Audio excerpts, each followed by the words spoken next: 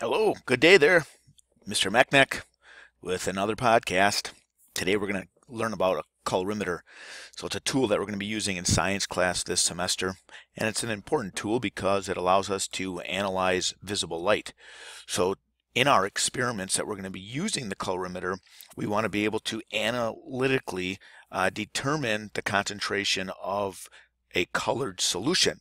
So if we have a colored solution and we shine some light through it in the visible light range, we are going to be able to measure how much of that light can pass through the solution or how much of the light is absorbed by using the tool called a colorimeter.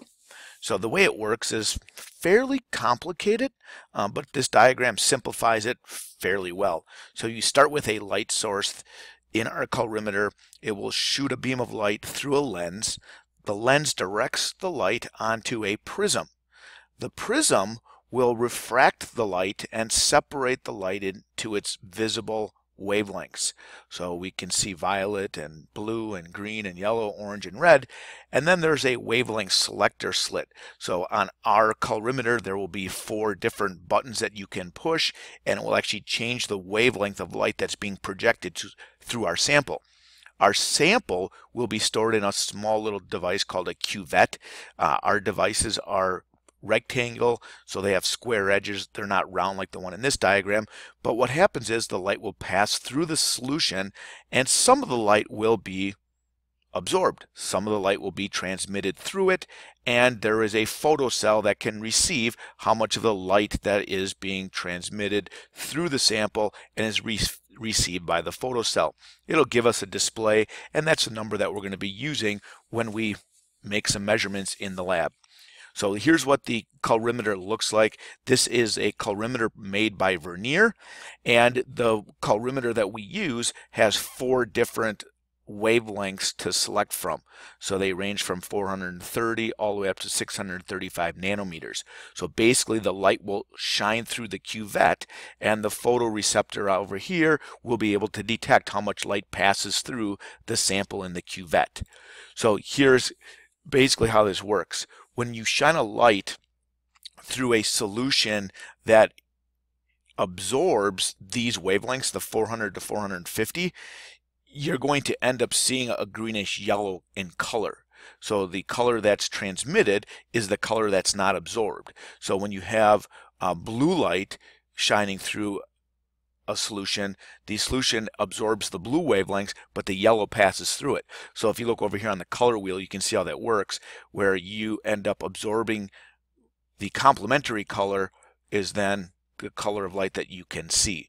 So these, this chart just kind of gives you an overview of the different wavelengths that are going to be shot through the sample and which color would be absorbed and then which color is transmitted or passed through the substance. So here's a quick little video on how we will use the colorimeter in class. So the first thing we want to do is make sure the device is reading accurately. So you're going to obtain the cuvette and you're going to fill it with distilled water. When you look at the cuvettes, you'll notice one side of the cuvette is clear or two sides are clear and then two sides are kind of beveled so it's it doesn't allow light to pass through it that well. So you want to use the clear edge and you want to place it in the colorimeter in the correct spot. The other thing you want to make sure you do is wipe off the cuvette to make sure there are no fingerprints left on it. Place the cuvette into the colorimeter so the arrow which is the direction the light is passing through is passing through the clear side of the cuvette.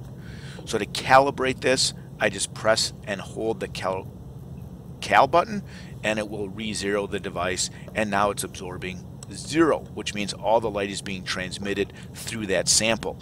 That's why we use distilled water to begin with. So here's a sample of some green food coloring and you can see the color green. So we place it into the colorimeter, close the lid, and it's going to give us an absorbance value. It's relatively low. So what I'm going to do next is change the wavelength of light. We're going to increase the wavelength to 470 nanometers and we can see it's absorbing more light because we're shooting a longer wavelength through it.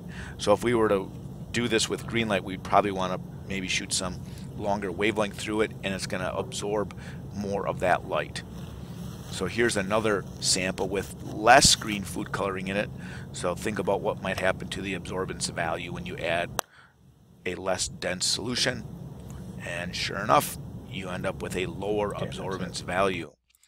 So when we're all said and done, we're going to try to use the colorimeter to create a standard curve.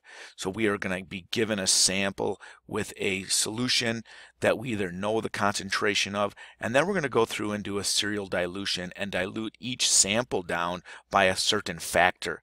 And if we know what that factor is, we can create a nice standard curve for a known solution. So if we know uh, what the standard curve looks like and we get an unknown sample, we can always use that sample to predict or actually calculate what the concentration of that solution is. So that's what a colorimeter is.